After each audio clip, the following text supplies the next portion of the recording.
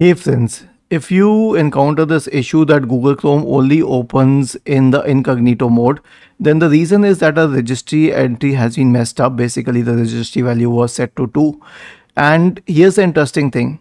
If you wish to uh, push for this setting, then you need to do it through the registry editor. But to fix this problem, you don't need to go through such a complex route.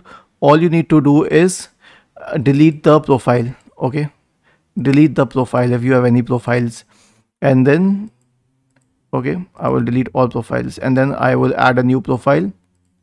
And I can even continue without an ac account. Okay? I can select guest mode or whatever I want to. And uh, it will work.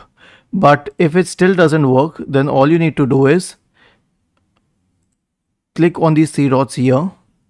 Select settings from the menu go to reset settings, click on restore settings to the original default, select reset settings. Was this helpful? If yes, then please subscribe to the channel and if not, then let us know in the comment section of the video on how we could help you further. Thank you for watching this video and have a nice day.